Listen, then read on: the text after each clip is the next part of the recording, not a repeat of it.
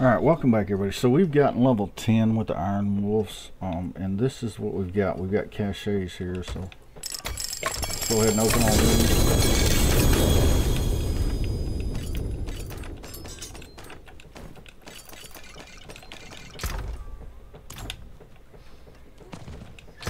We open all them, and this is everything that we have right here that we have gotten right here.